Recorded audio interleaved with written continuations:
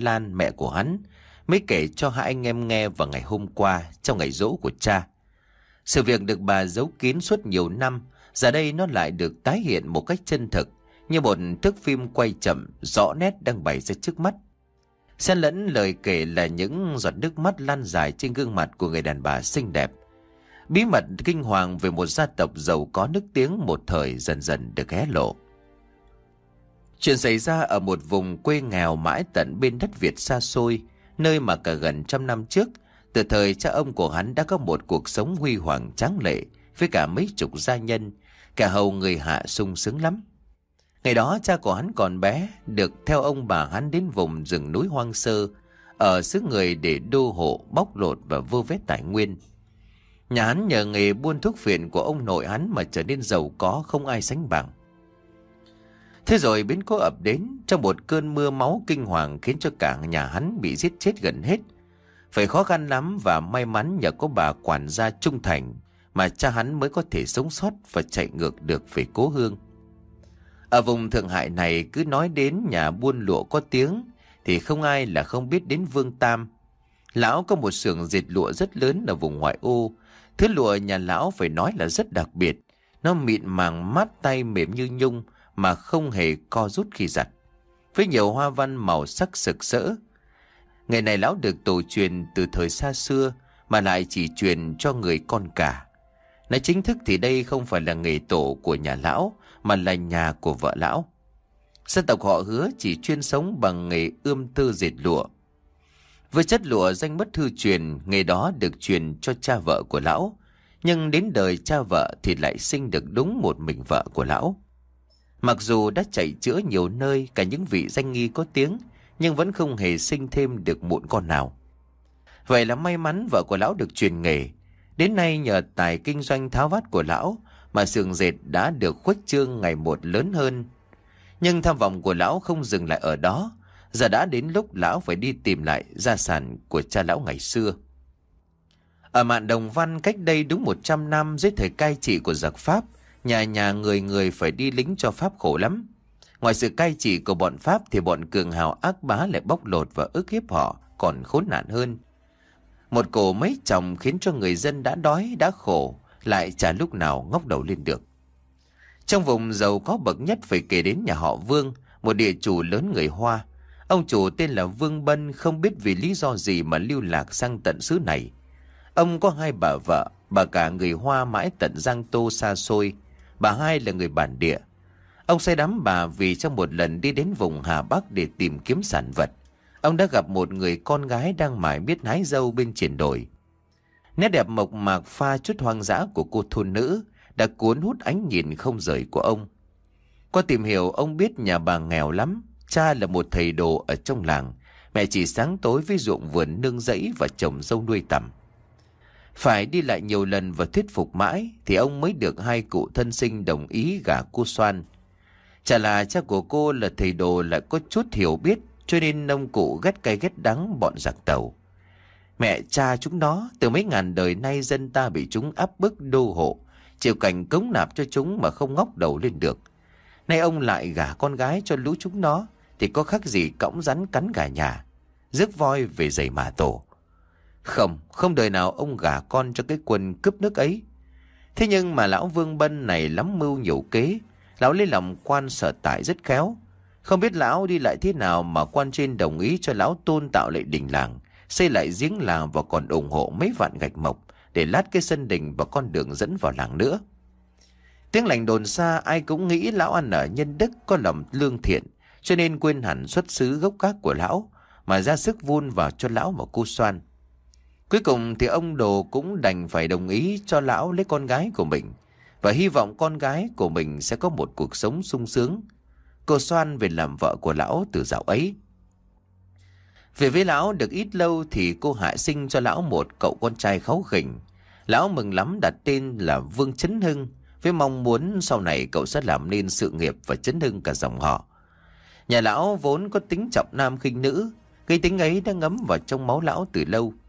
Mặc dù bà cả đã sinh cho lão được một trai hai gái, nhưng mà quan niệm của lão là trai đinh càng nhiều thì càng tốt, gia tộc của lão sẽ càng hưng thịnh hơn. Cậu cả tên Vương Lâm năm nay 16 tuổi. Cô hai tên là Vương Yến Tử 14 tuổi. Cô ba tên là Vương Tiểu Liên 10 tuổi. Nhưng của cải nhà lão nhiều, ăn cả mấy đời không hết. Cho nên lão muốn các bà phải sinh cho hắn thật nhiều con. Và nhiệm vụ của lão là càng phải làm cho gia tộc lớn mạnh, sản nghiệp ngày một giàu thêm. Có như vậy lão mới không hổ là con cháu của vương gia. Hôm nay đã là ngày đầy tháng con trai của lão, trong nhà người ăn kẻ ở tấp nập, bận rộn từ sáng để chuẩn bị cho bữa tiệc đãi các quan trên. Bà cả thì đang phân phó đám người làm, hết chỉ tay đứa này thì lại quát nạt đứa kia.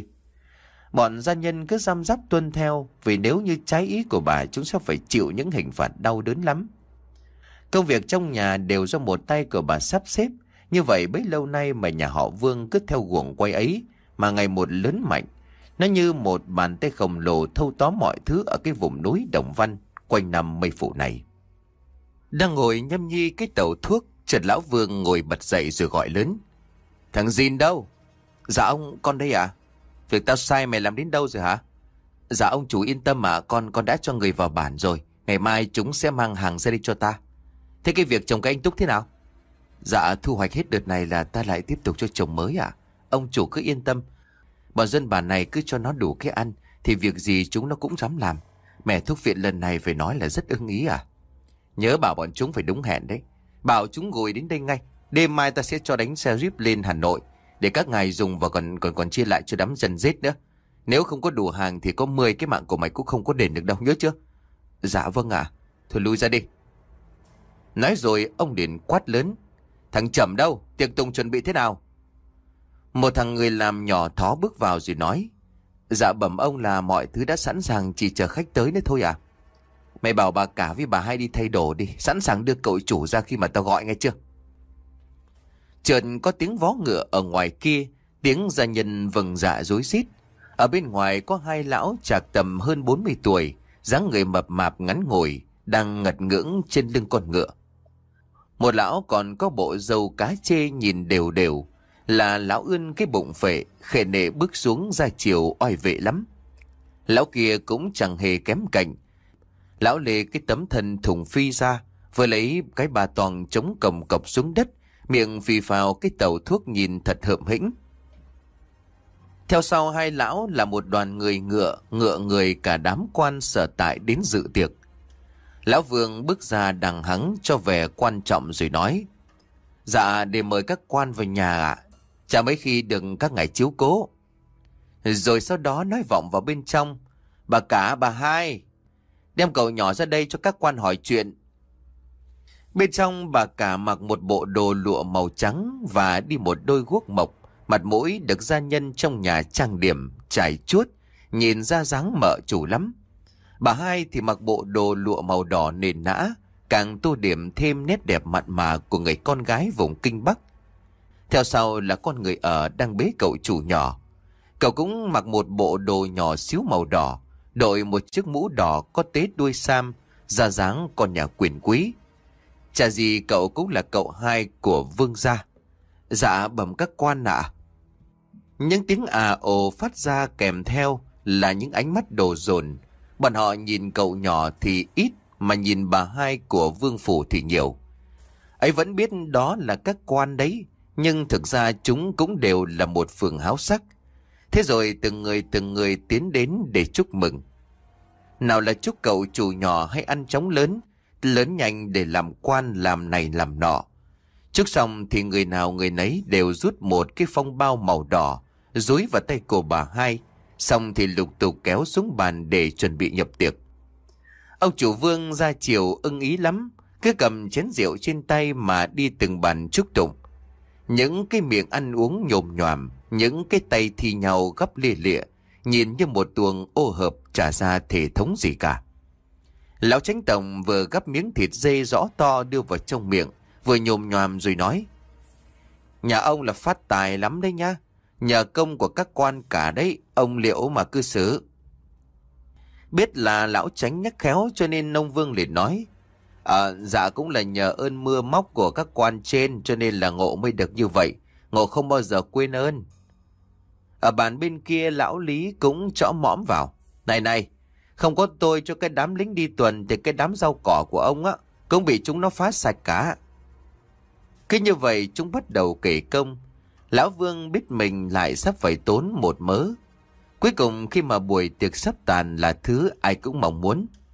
Lão Vương mời tất cả ra chiếu rồi lên sập, xe đám gia nhân dọn bàn đèn ra. Từng bi thuốc phiện cứ được tiêm đều đều cho từng lão.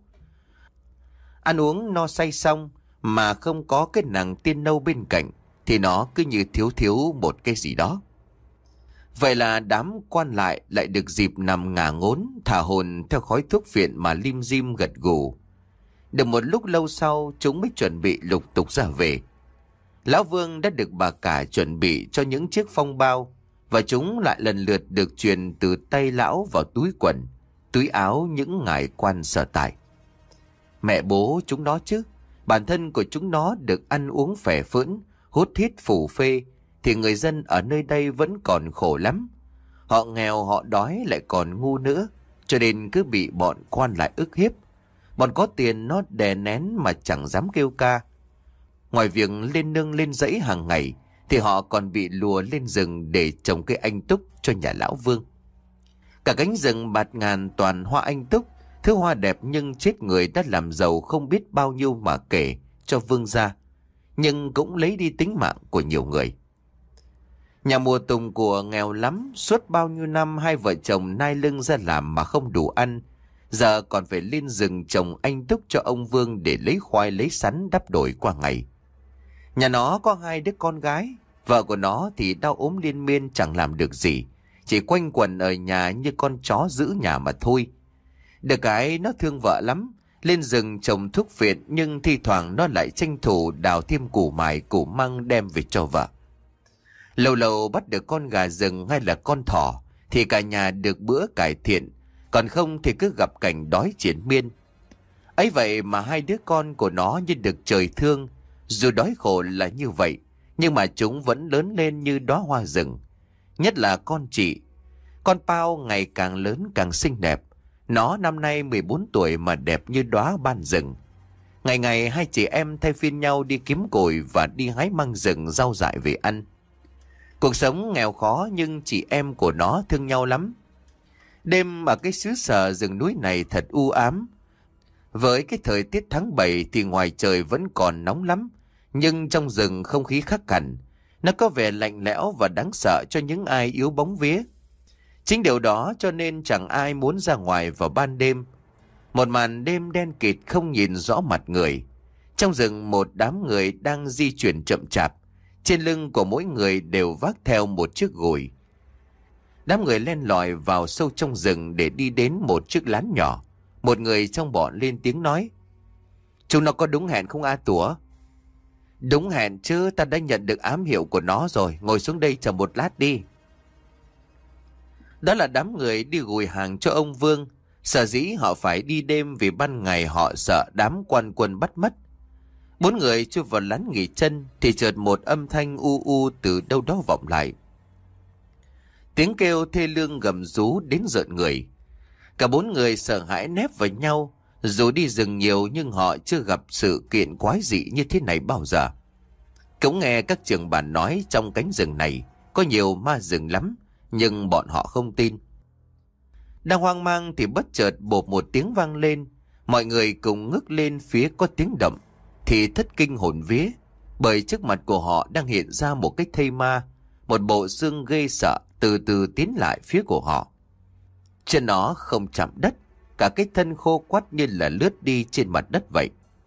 Bộ xương với cái đầu lâu đen xì, lỗ mũi hõm đầy rồi bỏ lúc nhúc. Ở giữa trán là một quầng lửa xanh lẻ, soi sáng cả một vùng.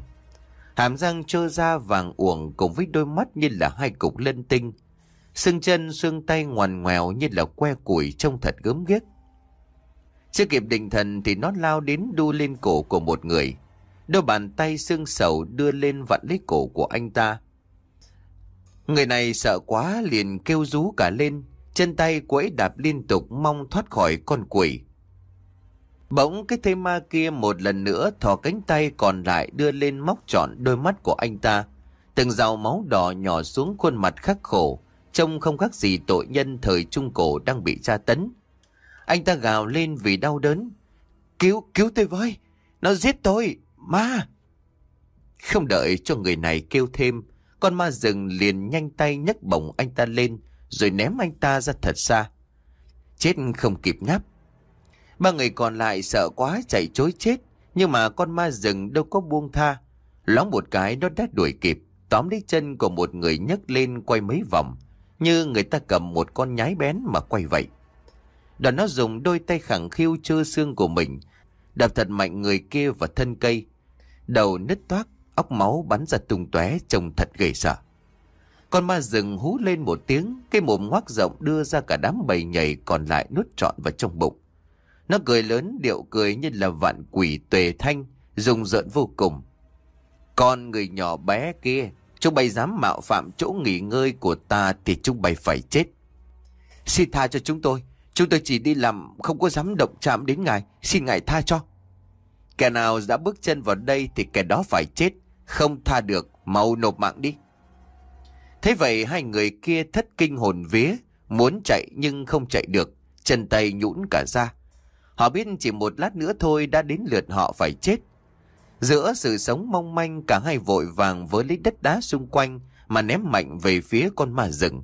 Nhưng sức người nhỏ bé, họ không thể địch lại được bộ xương di động kia. Từ từ tiến lại, nhanh như cắt quặp chặt một người vào trong nách, một tay nắm lấy đầu của anh này rất mạnh một cái. Ngay lập tức, cái đầu rời khỏi cổ, hệt như người ta dứt đầu của một con châu chấu vậy. Thật là quá sức khủng khiếp. Người còn lại biết không thể thoát ra. Liền móc ra tấm nanh hồ để đeo trên người, rồi lầm nhầm cái gì đó ở trong miệng.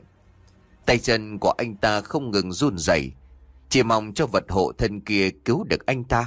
Nhưng mà không, con ma rừng lầm lũi tiến đến. Khi nó di chuyển chậm chạp có thể nghe thấy những khớp xương kêu lên răng rắc như cỗ máy biết đi vậy. Đến gần anh này nó liền giơ chân lên, đạp mạnh một cái anh ta ngã sóng xoài. Chưa kịp hoàn hồn cái miệng con ma đã kề sát, nó ngoác cái miệng ra. Lần này từ từ thông thả đưa cái lưỡi đỏ lòm, liếm lắp khắp mặt người này. Cái miệng không ngừng nhễu ra rứt rãi kinh tởm. Từ trong người cái thây ma không biết dòi bọ từ lúc nào, đã bò ra nhung nhúc. Những con giòi ngoe ngoẩy chui vào mũi, vào miệng, vào mắt anh ta mà đục khoét. Đúng là một kiểu tra tấn hết sức kinh người. Nó khiến cho con người ta chứng kiến cảnh mình bị chết từ từ, từng chút một thật là thống khổ. Anh vừa hú lên vừa đưa tay gạt những con giòi bọ ra khỏi mặt, thì cứ hết lớp này đến lớp khác chui ra nhiều không kể xiết. Anh đau đớn dãy ruộng nhưng nào có ích chi. Không để anh phải đau đớn thêm, con ma lúc này cười lên một cách man dở. Ta bắt đầu hóa kiếp cho ngươi, thứ con người dơ bẩn.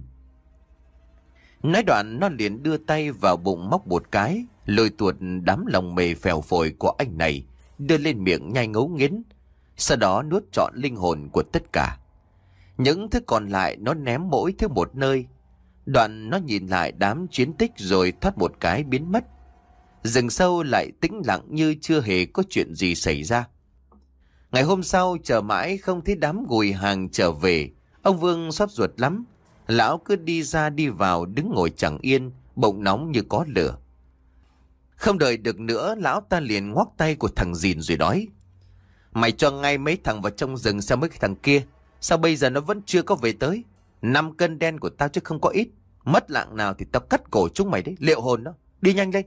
Dạ vâng ông chủ. Thằng dìn sai mấy thằng đi vào trong rừng để tìm mấy thằng đêm qua.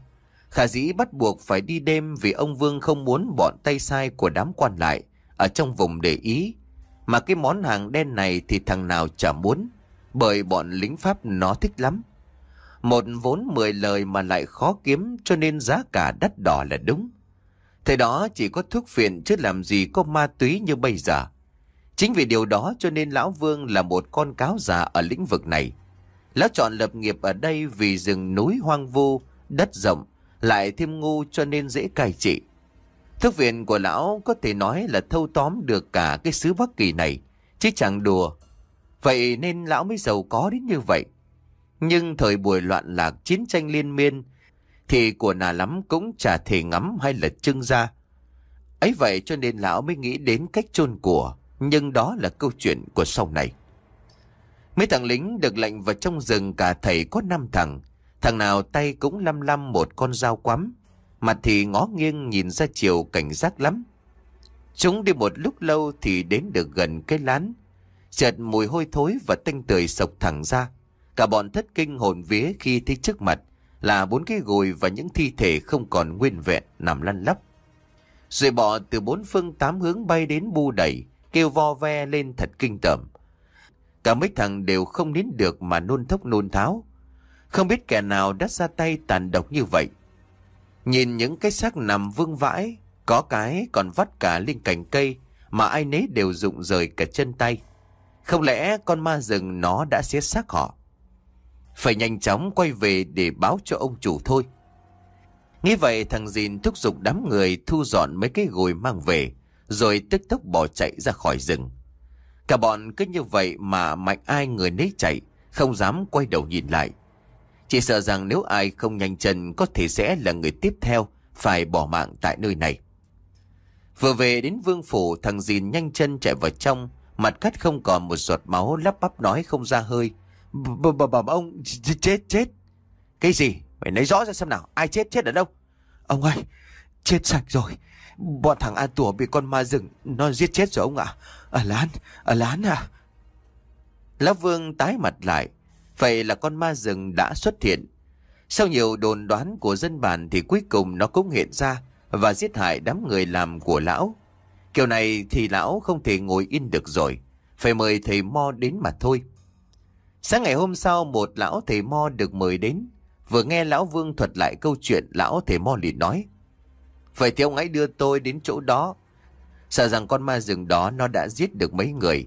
Cắn nuốt được linh hồn những người ở đó thì đã mạnh lên rồi đó. Tôi không biết là có trị được nó hay không. Trước khi đi ông hãy bảo người nhà sắm cho tôi một con gà trống, một ít máu chó mực, một ít nước tiểu của trẻ con rồi đi theo tôi. Tất cả yêu cầu của lão thầy Mo thì lão Vương đều nhanh chóng sai người đi chuẩn bị đầy đủ. Rồi cùng mấy thằng ở đưa lão Mo vào trong rừng. Khi đến, lão Mò cũng không quên đem theo đồ nghề để bắt ma. Ở vùng này chỉ có một mình lão là nổi tiếng nhất. Nhà nào có chuyện gì liên quan đến ma quỷ hay chấn niệm trừ tà, họ đều gọi lão đến. Vào đến bề rừng, lão Mo đang ngửi thấy mùi tử khí sông lên, âm khí bao trùm một vùng rừng rộng lớn. Lão linh cảm chuyện này không dừng ở lại đây, có thể nói đây mới chỉ là sự bắt đầu. Sau một hồi di chuyển mấy người cũng đến được cái lán đêm trước, Lúc này những cái xác bắt đầu phân hủy, rừng đại ngàn âm mưu, rậm rạp, cho nên ánh nắng cũng khó chiếu vào. Nhìn những bộ phận người vương vãi khắp nơi, lão mò cũng phải dùng mình. Lão vương thì khỏi phải nói, nhìn thấy cảnh tượng này lão vừa kinh vừa thích tởm lợm, bởi cái mùi thịt người vừa ai ai ngái ngái, lại khăn khẳng thối khắm vô cùng. Nó như là ám vào không gian của nơi đây, làm cho lão không rét mà run. Lão Mo bày biện đồ nghề ra một đám đất bằng phẳng rồi bắt đầu lầm nhầm khấn vái. Bỗng dưng cả cánh rừng trời đang ban ngày chợt bóng đêm phủ xuống đen đặc cả một vùng. Chuyện gì thế này? Mọi người ai cũng hốt hoảng bởi hiện tượng dị thường này. Ngay lập tức một tiếng hú dài vang lên, liền sau đó là một bóng ma xuất hiện. Không, nói chính xác hơn đó là một bộ xương. Nó bay đến trước đàn làm lễ rồi đập tung mọi thứ, Mắt của nó đỏ quạch như hai đốm lửa, miệng rít lên không ngừng. Những tiếng hú hét như muốn đâm thủng hết cả màng nhĩ của mọi người. Lão mò rút ngày thanh đảo mộc kiếm lao đến chém vào con ma rừng, miệng lầm nhầm đọc khẩu quyết. Án mani bắt di hồng, diệt. Thằng thầy mò chết tiệt, muốn sống thì cút khỏi đây. Nề tình ngươi mang lễ vật đến cúng ta tha cho ngươi một mạng. Không mau mau cút xéo thì ngươi và bọn kia sẽ chết không có toàn thây. Liền lúc đó con ma vươn tay về phía của lão Mo, tay của nó quắp được vào vai của lão. Nhìn như cắt lão xoay người nhưng cũng bị toạc một bên vai áo và bàn tay của con ma đã cào vào một đường dớm máu. Lão thấy nhói bút vô cùng. Lão biết nếu đang ngấm phải chất độc của nó, nếu không biết cách trị thì cũng mất mạng như chơi. Trong tình huống này lão không được phép dừng lại, chỉ cần lão sơ sảnh một chút. Không những lão mà cả đám người cùng lão vương cũng phải bỏ mạng. Ngay lập tức lão với lấy bắt máu chó mực khất thẳng vào người của con ma. Cùng lúc nước tiểu đồng tử cũng được khất mạnh vào nó. con ma rú lên đau đớn, nó hét lên lao vào lão mo định ăn tươi nuốt sống. Cánh tay khô khốc dài ngoằng vừa định túm cổ của lão. Thì một bát máu gà trống vừa được thằng ở cắt tiết cũng được tạt thẳng vào thân hình gớm ghiếc của nó. Người của nó cháy xèo xèo rồi biến thành một làn khói bay vào trong rừng. Lão mò lúc này cũng gần như là kiệt sức ngã gục xuống, miệng thổ huyết vì trong lúc đấu pháp với con ma, lão cũng đã bị thọ thương. Đám người cùng với lão vương lúc nãy đã nép cả vào một gốc cây theo dõi lão mò, ai nấy đều xanh mét mặt mày, thở cũng không dám nữa. Bây giờ khi thấy con ma đã tan biến đi, họ mới kịp hoàn hồn chạy ra. Lão Vương sai thằng dìn đỡ lão thầy mo dậy. Thưa thầy, thầy có sao không? Con ma rừng nó chết chưa? Nó chưa có chết đâu, phép của tôi chỉ làm cho nó bị thương nặng thôi, chứ chưa giết được nó. Nhưng mà trong thời gian này nó không dám làm gì nữa đâu. Ông hãy lưu ý mọi người không được vào rừng, tuyệt đối ban đêm không được vào rừng nghe chưa? Nói xong, lão ấy lấy một ít gạo nếp đã giã nhỏ đắp vào vết thương.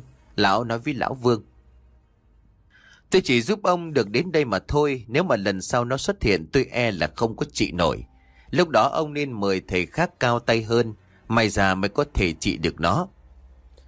Ông Vương liền dúi vào tay của lão mấy thỏi bạc trắng gọi là tiền công rồi tiễn lão ra về.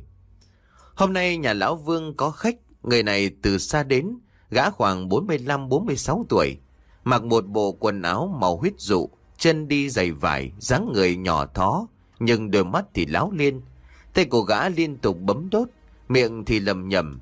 Gã chính là một thầy phù thủy người Tàu tên là Lương Tốn, vừa được họ Vương mời sang. Lại nói về gã thầy Lương Tốn này, gã vốn có ơn với nhà họ Vương, vì cha của Vương Bân đã có lần cứu mạng cha của gã, cho nên trước lúc lâm chung cha của gã đã dặn dò kỹ, gã phải hết lòng phò trợ nhà họ Vương, nếu được yêu cầu. Chính vì vậy cho nên đợt này đích thân lão Vương cho người sang mời, thì dù khó khăn đến mấy, lão cũng phải sang giúp cho bằng được. Vừa vào đến nhà gã đã đi tham quan khắp lượt dinh thự của vương gia. Sau khi nhòm trước ngó sau một hồi gã mới đăm chiêu nói. Ngộ thấy rồi, thế đất nhà nị tốt đấy. Nhưng mà để cho kỹ hơn thì ngộ cần phải làm phép thỉnh thần vì xem.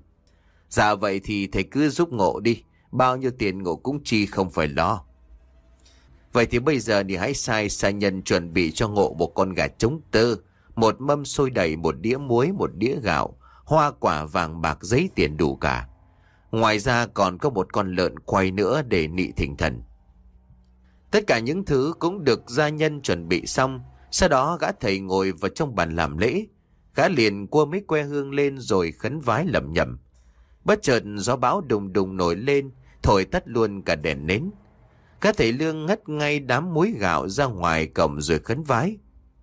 Xin lại thần linh thổ địa táo phủ thần quân, lại xin các ngài về đây chứng giám, gia chủ có lòng lễ lạt dâng lên, cúi lại ơn trên đèn rời soi xét, cần cáo.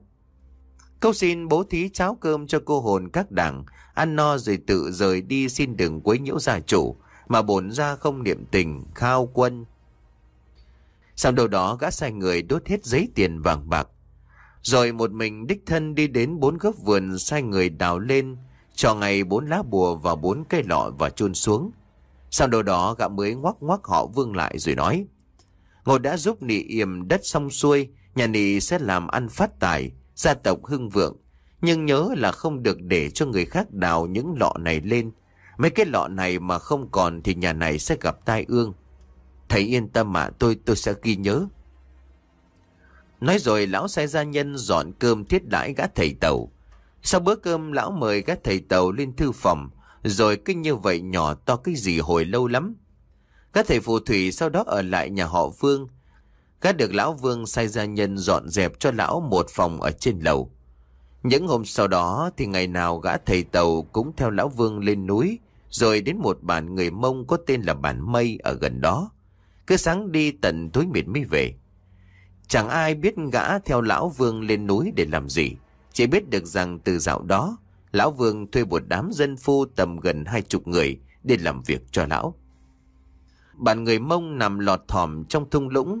Ở đây có khoảng mấy chục hộ, nhưng hầu hết đều nghèo. Họ đều phải đi làm thuê cho nhà lão Vương. Người khỏe thì vào núi trồng thuốc viện, người yếu hơn thì chăn thả gia súc. Tất cả dân bản trong vùng đều mù chữ. Cái đói cái nghèo cứ bám giết lấy họ. Chính điều ấy cũng khiến cho họ trở thành một công cụ đắc lực để đám người của lão Vương sai khiến. Trước lối vào bàn có một con suối nhỏ, bên cạnh là một cây gạo cổ thụ và một chiếc giếng đã cổ. Đó cũng chính là một đặc điểm khiến cho bản này ngày sau trở thành một nơi nhuốm đầy máu và nước mắt. Tai họa cũng từ đó mà nảy sinh, khiến cho bản làng sau này trở thành bản ma đúng nghĩa. Gã thầy tàu ngắm nghía thế đất một hồi rồi gật gù nói. Ngồi đã tìm cho nị được thế đất tốt, nếu của cải được chôn ở đây sẽ có vượng khí. Mảnh đất này có thế hổ phục, lưng dựa vào núi. Phía trước lại có một dòng suối chảy qua rất thịnh cho long mạch. Một trăm năm sau vận khí cũng không thay đổi. Lão Vương nghe nói vậy thì lấy làm ưng bụng lắm. Từ sáng sớm lão đã sai đám người làm đem theo nào là cuốc nào là thuồng, sẻng dao cho tất cả lên lưng, những con ngựa đưa vào trong núi. Đám dân phu cứ vậy đào cứ xúc như vậy. Ngày này qua ngày khác, cuối cùng cũng thành một đường hầm dài sâu hun nốt và hình thành ra một gian mật thất bên trong vô cùng kiên cố. Lúc này khi đám dân phu đang nghỉ ngơi sau một ngày làm việc mệt mỏi, Lão Vương và gã thầy họ Lương cũng ra về. Ăn uống xong xuôi gã thầy Lương mới ngoắc ông Vương lên phòng và thủ thỉ. Ngồi đã cho thợ đào xong hầm giữ cho nị rồi. Giờ đã đến lúc nị phải ra tay thôi. Trước tiên nị hãy tìm ngay cho ngộ một cô gái đồng trinh từ 14 đến 18 tuổi chưa chồng để ngộ yểm làm thần giữ của trò nị. Sau khi tìm được cô gái đó báo cho ngộ, ngộ sẽ có cách để giúp đỡ. Thế là một kế hoạch bí mật đã được vạch ra. Lão Vương cho đám tay chân thân tín đi lùng sục khắp các vùng lân cận để tìm cho ra một cô gái đúng theo yêu cầu của gã thầy tàu. Việc này lão phải làm cho nhanh vì nếu để lâu đêm dài lắm mộng. Nhà của lão bao nhiêu vàng bạc của nà nhiều không kể xiết, cả chục dương vàng bạc chứ ít gì đâu. Mà đang chiến tranh loạn lạc thế này, lão không thể chuyển chúng về quê hương Vừa không an toàn trên đường đi thì cướp bóc thổ phỉ nhiều vô số, qua lại địa phương thì như mạng nhện. Có khi món của cải của lão chưa về được cố hương thì cũng bị bọn này tranh đoạt cả. Chỉ bằng chôn chúng xuống một cái chỗ bí mật rồi sau này hết nạn binh đao, đời con đời cháu của lão lấy về cũng được. Bản tùng lao chìm trong sương mù, mùa này sương xuống sớm lắm, chị em con bao lên rừng đào củ cũng không dám ở lâu, Mọi người trong bản nói nếu không về sớm, trời tối mà vẫn còn ở trên rừng, thì con ma rừng bắt mất. Con Pao sợ lắm, nó dẫn em nó là con thá về ngay khi trời còn vẫn nhá nhem. Về đến nhà nó đã thấy bá mế của nó đứng ở cửa chờ chiều mong lắm. Thế chị em của nó về bá của nó nói. Hai đứa rửa chân tay nhanh vào ăn cơm. Hôm nay nhà mình được ăn cơm trắng không phải độn sắn. Lại còn có cả thịt và giò chả. Ôi giàng ơi, chị em chúng con có nghe nhầm không ạ? Bá mế chúng con lấy đâu ra tiền mà mà cho chị em chúng con ăn sướng thế này? Có thá không kịp rửa chân tay chạy vào trong nhà. Trên bộ ván là một mâm cơm đầy đủ thức ăn đúng như lời của bá nó nói. Rồi nồi cơm vẫn còn đang nghi ngút khói thế kia. Vừa ngồi vào trong mâm, con Pao chưa kịp hỏi mấy nó đã nở một nụ cười. Một nụ cười của mấy nó đẹp làm sao? Thế hai chị em nhìn vào mâm cơm thèm thuồng chưa dám ăn thì liền nói. Từ nay nhà mình sẽ không còn phải đói khổ nữa rồi. Các con cứ ăn đi không có sợ đâu. Đây là đồ của ông chủ vương cho nhà mình, không phải trả tiền đâu ăn đi. Chúng ngạc nhiên lắm, không dám hỏi mà cứ cúi cắm ăn một cách ngon lành. Từ bé đến giờ chúng mới được ăn một bữa cơm ngon như vậy. Ăn xong, bá của nó mới từ tốn nói. Mấy hôm nữa con Pao sẽ theo chồng về nhà khác ở. Bá mới đã nhận lời người ta. Nghe vậy con Pao sợ lắm, nó buông vội bát đũa rồi miếu máu nói. Không, con không đi lấy chồng đâu, con ở nhà với bá mê đến già cơ.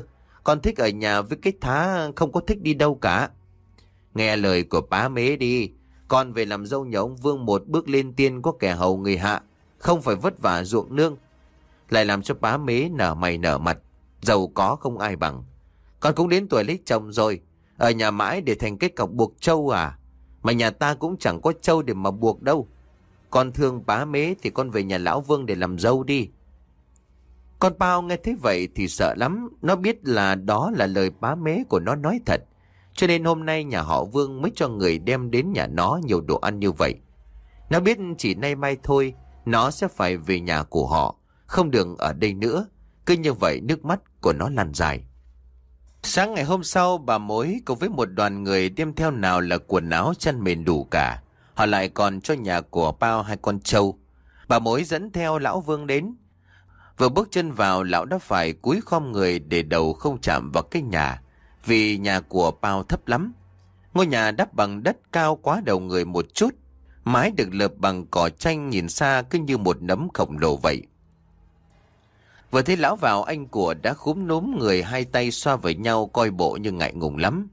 Bà ông, ta đến đây là để xem mặt của con dâu. Nó đâu gọi ra đây cho ta xem mặt. Dạ bẩm ông...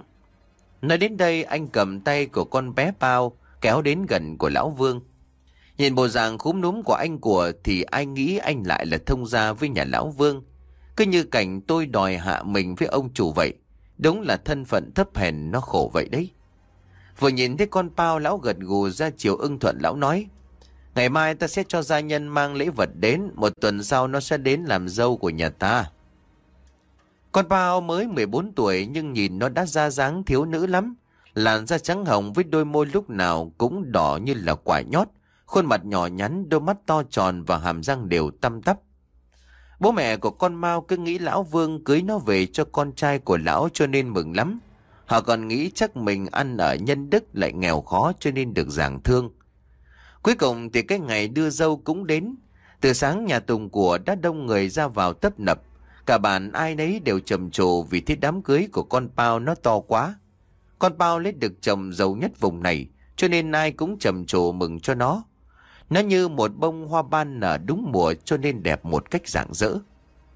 Hôm nay con bao được nhà trai đưa đến một bộ đồ cô dâu màu đỏ của người Tàu rất đẹp. Lại có cả mạng che mặt màu đỏ và một đôi giày thêu cũng màu đỏ.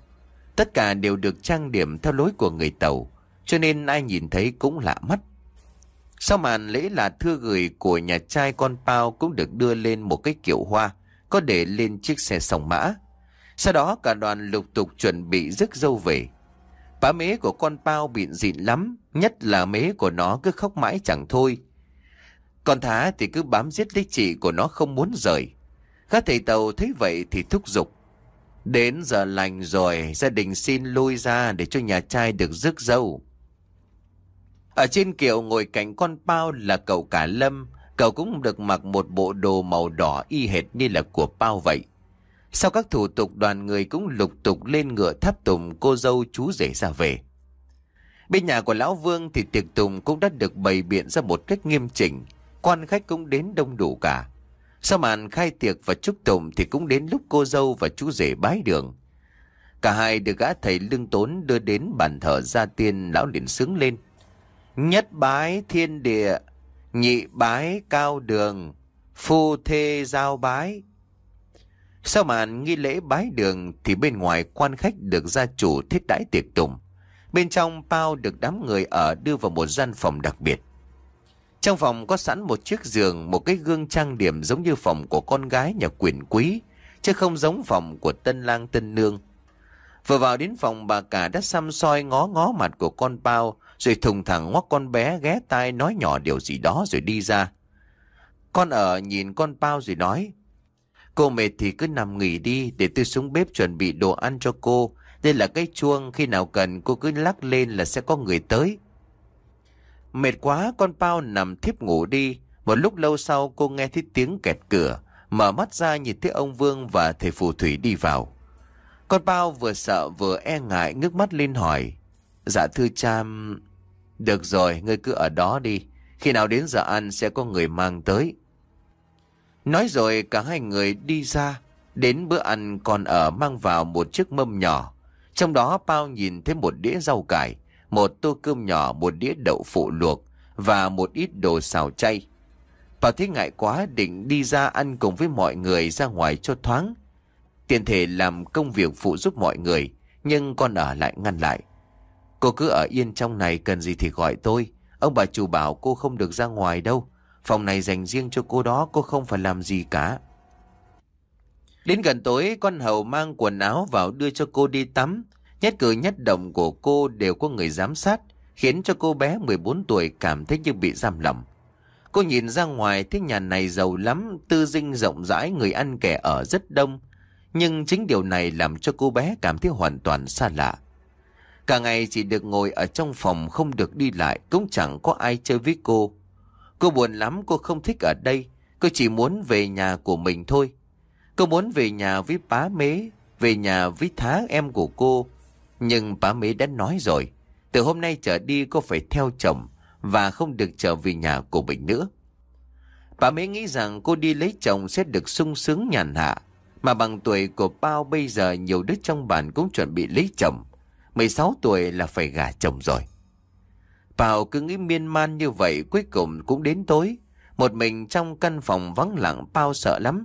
Cái người mà cô gọi là chồng cũng không thấy đâu. Từ lúc ngồi trên kiệu hoa cho đến khi về nhà chồng, Bao và chồng cũng chưa nói với nhau câu nào. Chồng cũng chưa mở khăn che mặt nhìn Bao cơ mà. Bao cũng chưa biết mặt của chồng nữa, vì lúc ngồi trên kiệu mạng che kín mặt có nhìn thấy gì đâu. Mà lạ lắm khi được dẫn đi tắm Bao thấy có một bà mang nước vào. Trong thau nước tắm Bao nhìn thấy có rất nhiều lá cây, nhiều hoa và các loại mùi hương được cho vào đó thơm lắm. Trước khi bước ra bà ấy bảo với Bao bằng một giọng lơ ngớ, mà Bao thấy rất khó nghe. Bà ấy bảo Bao phải tắm bằng nước ấy để cho thân thể thơm tho, không được tắm bằng nước khác. Đêm đến chỉ một mình Bao ngủ ở trong phòng, lại nhà cho nên Bao khó ngủ lắm. Nó cứ lăn lộn qua lại mãi không ngủ nổi. Cho đến khi mệt quá Bao mới tiếp đi. Sáng ra có người gọi Bao dậy để mang đồ ăn cho Bao. Toàn là đồ ăn chay Bao để ý, thấy không hề có thịt. Cứ như vậy rồi ngày ngày trôi qua. Bao ở trong căn phòng ấy như một con chim nhỏ bị nhốt trong lồng. Ngày nào cũng có người mang cơm đến. Vẫn chỉ có rau đậu và đồ ăn chay, chứ tuyệt nhiên không có thịt cá gì cả. Đến cả khi đi tắm vẫn luôn là nước lá thơm, và đêm đêm Bao ngủ lại một mình trong căn phòng vắng lặng. Không một ai hay biết ngoại trừ một vài người trong căn nhà ấy, rằng Bao được cưới về cho cậu cả Lâm, nhưng chưa một lần cậu bước chân vào căn phòng này. Cô dâu cũng chưa từng bước chân ra ngoài Và một đám cưới mà cô dâu chú rể không hề động phòng theo đúng nghĩa Đêm nay khi màn đêm u tối dần phủ xuống vùng đất xa xôi này trong dinh thự đồ sộ của vương gia Tất cả mọi người đã chìm vào giấc ngủ Thì một bóng người rón rén đi lên lầu Gõ cửa phòng của lão thầy lương tốn Người đó chính là ông chủ vương Khi cánh cửa vừa được mở ra thì ông chui vào ngay trong chính giữa căn phòng gã thầy tàu đang ngồi luyện phép. Người gã tỏa ra một làn sương khói như là ma mị, dễ khiến cho người ta cảm thấy rợn rợn. Lúc sau gã mở mắt ra nói với ông Vương. Có việc gì mà nị tìm ngộ giờ này? Thầy à, sao mà ngộ thế lâu quá liệu có gì bất ổn không? Sao ngộ thế lo? Nị cứ yên tâm đi để ngộ lo. Ngộ đã nói là phải đủ 49 ngày mới làm được, không sớm được đâu. Cô gái đó ngộ sẽ để làm thần giữ của cho nị thì ngộ phải lo chu tất. Cứ đủ ngày thì ngộ sẽ làm yên tâm. Thì ra bấy lâu nay gã thầy tàu sang đây là để giúp lão vương đào hầm chôn của. Và bao chỉ là thứ để cho thầy làm phép yểm thành thần dữ của cho nhà vương bân. Chứ đâu phải lão cưới về làm vợ cho con trai của mình như mọi người vẫn tưởng. Chính vì vậy cho nên theo lời dặn của lão thầy lương, cô đã được cho ăn chay tịnh đủ 49 ngày. Sau đó gã sẽ thực hiện âm mưu thâm độc kia chỉ tội cho cô bé xấu số vẫn còn ngây thơ, chưa biết được rằng cái chết khủng khiếp đang đến với mình rất gần, sắp rồi và nhanh thôi. Hàng ngày đám dân phu cũng vẫn đào hầm cho Lão Vương. Từ ngày thực hiện công việc này, Lão bắt tất cả đám dân phu ăn ngủ hẳn ở trong núi, không ai được về nhà, nội bất xuất ngoại bất nhập. Đến bữa thì có những người mang cơm đến, công việc cũng được bước vào trong giai đoạn cuối, Hầm mộ với kết cấu hết sức chắc chắn và phức tạp, dưới sự chỉ đạo của gã thầy phù thủy người Tàu, thì cũng đến công đoạn cuối, tất cả sắp sửa hoàn thành. A Báo là một đám dân phu trong đám thợ xây hầm mộ. Nhà anh ở một bản cách đây khoảng một nửa ngày đi bộ. Gia cảnh của anh rất nghèo khó. Anh có một người cha già ốm yếu, một đứa em gái nhỏ. Còn mẹ của anh đã chết trong một cơn bạo bệnh không có tiền thuốc men. Anh và đám trai bản đi gùi hàng và làm thuê ở nhà ông Vương. Vừa rồi nghe thấy mấy người phu nói, nếu đi theo ông chủ nên đây làm gì thì sẽ được ông trả công cao gấp đôi. Thế vậy anh mừng lắm, công việc tuy có nặng nhọc nhưng đổi lại, anh sẽ có thêm tiền để gửi về cho bố mẹ và em gái. Hôm nay sau một ngày làm việc mệt nhọc, đêm xuống Nga báo lăn ra ngủ ngay. Trong lúc ngủ say chợt thấy bóng của mẹ hiện về, bà cứ đứng trước mặt của anh mà khóc anh liền kêu lên. Mế ơi, mế, mế ơi mế về thăm con phải không? Con nhớ mế lắm. Trần bà gạt đi nước mắt chỉ tay ra ngoài rồi nói nhanh như là sợ điều gì đó. Chạy đi con ơi, chạy đi khỏi đây đi ngay, ở đây họ giết con mất. Nói rồi không kịp để cho anh hỏi thêm câu nào thì bà đã vụt biến đi. A báo sợ lắm, anh lo lắng không biết mẹ nói như vậy có ý gì, nhưng anh không thể hỏi ai được. Lại tự an nổi và nghĩ là chắc là mệt quá cho nên đêm ngủ mơ. Hôm nay và hôm sau nữa trong giấc ngủ anh vẫn thấy mẹ của anh hiện về và nói câu như vậy. Anh hỏi thì bà chỉ khóc và nói đúng một câu làm cho anh sợ hít hồn. Con ơi, trốn khỏi đây đi, đi ngay, nếu ở lại đây là chết đó, đi ngay đi. Sợ quá nhưng mà nghĩ từ ngày mẹ chết chẳng bao giờ mẹ hiện hồn về như vậy. Nhưng sao mấy đêm nay mẹ cứ hiện về và dục anh đi trốn? Không lẽ ở đây có điều gì nguy hiểm sắp sửa xảy ra? Ngẫm lại anh cũng thấy lạ khi nghĩ đến công việc của mình và những người làm cùng. Anh cứ nghĩ mãi mà không hiểu tại sao ông chủ lại bắt các anh đào hầm mộ. Đào để làm gì mà không cho một ai ở bên ngoài lai vãng. Cũng không ai được phép ra khỏi khu vực này. Ai cũng biết được vương gia rất giàu có. Mọi người cũng đoán giả đoán non rằng có lẽ ông chủ đào hầm để giấu của. Nhưng có ai nghĩ đến điều gì khác đâu. Thì đúng rồi, có lẽ mẹ của anh đã phát hiện ra nguy hiểm cho nên cảnh báo anh đây. Sợ quá không kịp nghĩ ngợi, ngay trong đêm anh vội vã vơ vội ít đồ đạc quần áo và một ít tiền mà ông chủ đã trả trước cho mọi người để khích lệ tinh thần làm việc, men theo con đường núi mà bỏ trốn. Anh cứ đi như vậy mặc cho đêm tối mà không dừng chân lại, chỉ mong sao thoát khỏi nơi này càng nhanh càng tốt. Anh cứ lầm bầm cầu mong linh hồn của mẹ phù hộ để anh thoát được nguy hiểm. Hôm nay đã là ngày thứ 47 bao được gả về nhà của họ Vương, nhưng chỉ có một hai người gia nhân thân tín là được nhìn thấy cô trong căn phòng bí ẩn đó. Còn lại không một ai nhìn thấy cô cả. Ở nhà của bố mẹ bao lúc này, con bé Thá cứ quanh quẩn chơi với bọn trẻ con ở trong bàn. Về đến nhà nó lại nhớ chị lắm. Từ dạo chị nó đi lấy chồng thì đời sống của nhà nó cũng bớt khó khăn hơn. Bác của nó ngoài việc lên nương thì cũng có hai con trâu để chăn thả. Mế của nó thì bớt ốm yếu hơn. Nó nói với Mế muốn đến đây chơi với chị, nhưng bá của nó không cho, bảo nhà chị nó xa lắm không đi được. Mấy ngày nay đêm nào con thá cũng mơ thấy chị nó trong giấc ngủ. Nó thấy chị của nó đứng ngoài bờ rào đá mà khóc chứ không vào nhà. Nó hỏi nó gọi mà chị không nói. Rồi cứ như vậy lững thững bước đi. Nó mở mắt ra thì không thấy con Pao đâu cả. Nói với bá mế thì bá của nó bảo chắc nó nhớ chị quá. Cho nên nó mơ vậy thôi. Đêm nay tiếng quả kêu mỗi lúc một gần, rồi con thá nghe thấy tiếng quả kêu ngay trên nóc của nhà thì phải. Tiếng quả kêu trong đêm thanh vắng làm cho con thá sợ lắm.